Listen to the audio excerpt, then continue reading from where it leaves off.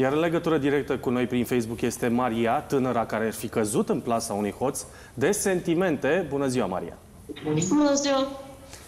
Cum sună asta, Hoț hoț, de de, sentimente. sentimente, vezi? Te gândești că există hoți de orice în lumea asta, dar de sentimente nu. Și de fapt, astea sunt cele mai grele. Și ar trebui Furturi. amendate și pedepsite. Păi Da, de acolo bineînțeles. pleacă și generalul american și generalul belvețian. Sigur, și... toți și generale astronautul. și, Și toți astronautul. milionarii lumii care Uitasem de asta. nu au, uh, care nu au cui să dea averea și nu știu cum să se mai Dacă împrietenească cu legea, româncele. dacă legea ne pedepsește pentru tot ce înseamnă material, Da. iată Uite că, că cea mai pentru bună sufletesc- variantă este aia să atingi sufletul și acolo poți să răscolești mai mult. și să furi. Da. Corect. E, o să vedem exact ce ne spune invitata noastră, pentru că mi se pare că e deja la locul de muncă. Bună ziua! Spune-mi, te rog, to- numele tău și câți ani ai? Eu am 33 de ani. Bună ziua! Cât ai? 33. 33 de ani și de unde ești? De Păduren de Giurgiu. Uh, ai copii? Câți, câți ani au Am o copiii tăi? copilă de 9 anișori. Spune-mi, te rog, ce ți s-a întâmplat? Când a început totul și cum s-a terminat? Eu l-am cunoscut pe acest băiat pe TikTok prima oară. Acolo pe style pe TikTok posta numai de asta, gen că suferea, că a fost traumatizare, că nu știu ce, și am pus botul. Am zis, mă, înseamnă că băiatul suferă, cum am suferit și eu în trecut, îi zic, na, asta e un vorbă cu el, dacă mă bag în seamă. Am vorbit o vreme pe TikTok, după care pe Facebook. Am stat vreo două luni de vorbă pe Facebook, el spunea că e în Germania plecat, l-am așteptat, a venit acasă în Brașov, n-am întâlnit, m-am dus tot după el, n-am întâlnit, N-am văzut de câteva ori totul perfect, adică mi se părea perfect în toate punctele de vedere.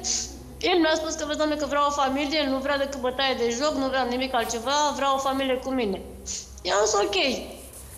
Acum, înainte de Revelion, cu o săptămână înainte de Revelion, îmi zice, iubita, eu pe fată și vină la mine, știi, să ne mutăm împreună. Deja ne mutăm împreună de acum.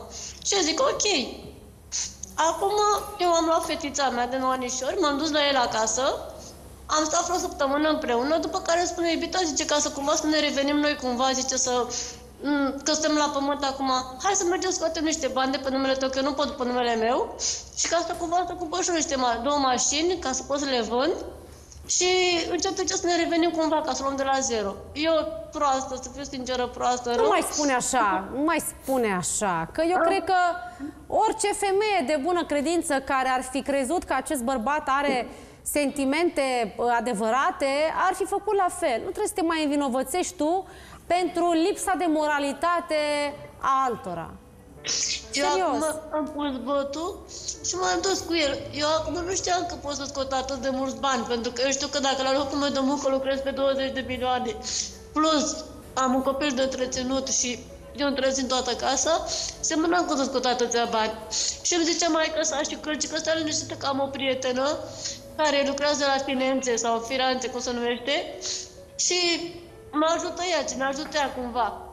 Și că ok, eu dacă nu mi-am dat seama ce vreau să facă, acum mă duc cu maică sa la acea femeie, deja făcuse actele, că nu am copil, că lucrez ca șef de echipă, că am casă pe numele meu, că nu mai știu ce a scris acolo, știți? Eu acum n-am știut pe moment ce a scris în actele alea. Din asta să le citesc, că nu mi-a dat voie, gen, știți? Acum eu m-am dus la bancă cu acele acte, i-a trimis la bancă și m-am dus cu maică sa la bancă să scot banii. La bancă nu m-a întrebat dacă am copii, pe când m-a întrebat dacă sunt căsătorită, dacă am un loc de muncă, cum se numește locul meu de muncă, atât m-a întrebat. Și acum am scos banii, a intrat Câți banii bani, pe card, câți bani ai putut să scoți pe baza salariului? Adică ce credit ai putut să faci? 400 de milioane.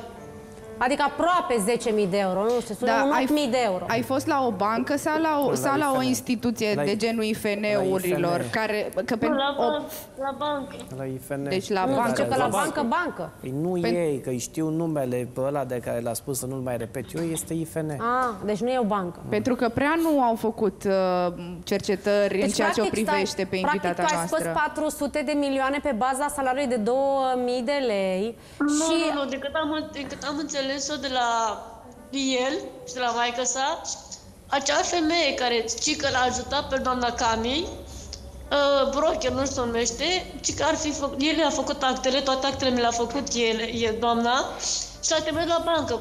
Dar acum banca a luat-o după cum a zis doamna, că eu sunt gen Nu am înțeles sigur. Dar Ca să poți să stai plăți așa un bani. pic ca să putem merge mai departe. Pe câți ani ai făcut acest credit și ce rată ani. lunară Maxim ai de cinci plătit? ani.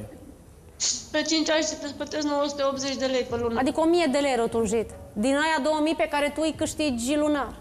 Și Nu, de, ma- din care mai de, de- întreținut și o fetiță. Deci de aici îți dai seama din start că nu putea să fie un credit la bancă. Pentru că e pe mai- e normele aproape B- 50% pe din normele venit. BNR nu ai cum să ai grad de îndatorare 50% la bancă. Mhm. La IFN îți dă și grad de datorare mai mare. Da. Mhm. Asta spun că eu o mai las să ne p- contureze toată Mhm. povestea, dar știți cât sunt așa? Fai de capul meu dacă nu se împrumută pe rupte și problema e alta, că n-a luat ea banii.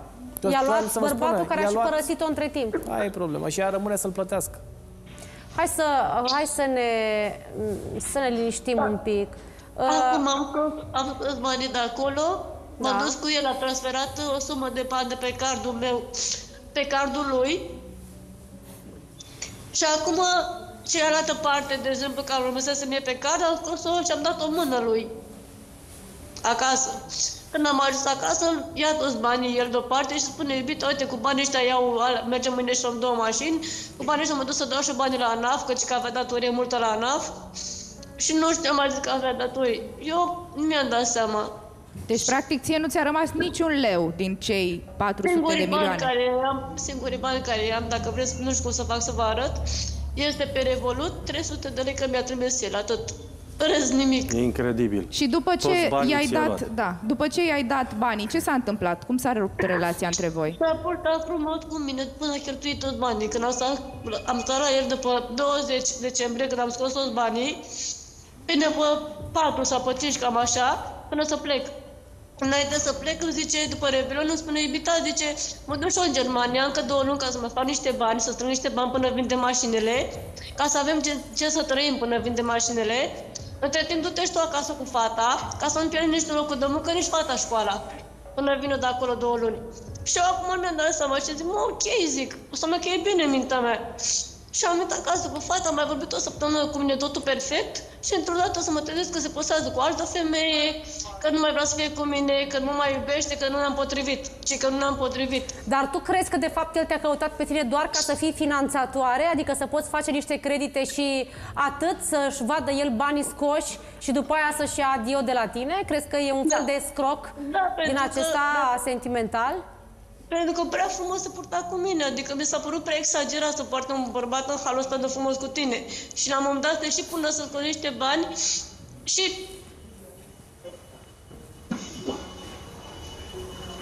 nu știu. Dar tu i-ai cunoscut, i-ai cunoscut și familia. Am cunoscut pe maică, s-am cunoscut pe fata lui, că asta la noi acolo cu el. Am cunoscut prieteni de-al lui, foarte mulți prieteni. Am cunoscut mai aproape pe toți, am cunoscut. Adică, practic, erați o familie. Încep, începea să formați practic, împreună o maică familie. face cu fratele lui care stă în aceeași casă și cu taică su. Practic mă înțelegeam bine, eu cred că mă înțelegeam destul de bine cu ei, dar se pare că n-a fost așa. Și ai încercat să vorbești cu ei? Eu am încercat să vorbesc cu mama lui, i-am zis, am încercat să vorbesc cu ea și în schimb, în loc să vorbească cu mine, a început să mă facă în toate felurile, că stau liniștită, că o să plătească ei banca, că stau în banca mea, că vezi, doamne, că i-am... Să-mi plătească ei banca și eu să stau în banca mea. Ce bună e Da. jocul ăsta de Da. cuvinte. Numai că banca ta e una, banca lor e alta. Uite, mă arată Dar fii la atentă, vorbit. eu nu știu cum funcționează IFN-urile astea. Dar dacă tu te Nici duci nu la vrei să IFN știi. și spui așa, luați-mă, faceți ce vreți cu mine, n-am de unde să vă plătesc, că mi-a dat țeapă unul. Deci, am făcut-o pentru că eram în situația aia, acum n-am ce să vă mai dau, n-am cu ce să-mi hrănesc copilul. Ce fac? Păi nu, Ce-ți iau de pe fămătarii tine? cred că erau mici copii față de Aia zic, păi băncile și aia astea. ce Tot fac? ce ai pe numele uh, tău. Mirela, Cum adică? Iau tot ce Ne, ai pe numele eu- tău. Păi, dar ei eu pot vreau să să- meargă peste reglementările bancare ale BNR? Eu, eu aș vrea să înțeleg de ce doamna lucrează pe 2000 de lei în primul rând când salariul minim pe economie nu mai e 2000 de lei de multă vreme. Dar asta e o altă întrebare. Uh, doi, uh, din ăștia 2000 sau cât încasează doamna, uh, din punctul meu de vedere, uh, lucrurile stau în felul următor. Că o să-i pună poprire și pe banii respectiv pe care i are. Sigur, nu-ți mai plătești datoria la bancă, la IFN sau la uh, oricare altă instituție financiară sau nefinanciară.